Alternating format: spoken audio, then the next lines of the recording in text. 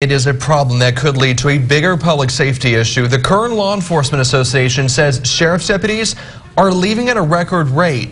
So the organization has started a petition to find a solution. 17's Karen Hua explains how it wants you to get involved.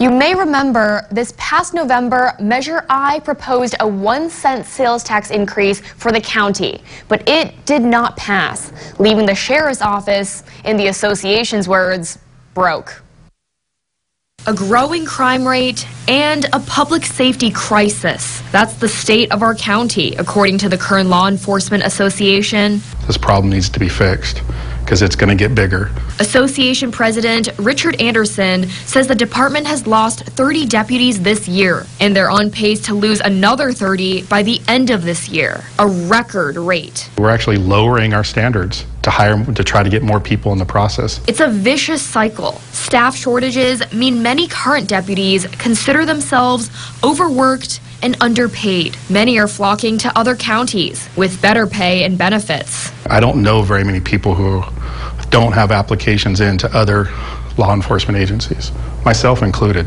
And he says it'll cost you, the taxpayer. I mean, on a low end, it costs about $200,000 to replace a deputy. The association solution? I would like to the board to come up with a solution, either a one cent sales tax, half cent sales tax, something to fund our department so we can stop people leaving. But it's a catch 22. The association has started a petition to raise this problem to the Board of Supervisors. But the Board of Supervisors needs voters to approve any sales tax increase, which they already attempted and failed last November with Measure I.